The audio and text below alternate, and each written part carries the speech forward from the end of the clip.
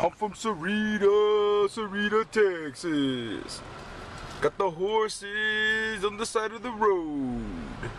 I'm from Sarita, Sarita, Texas.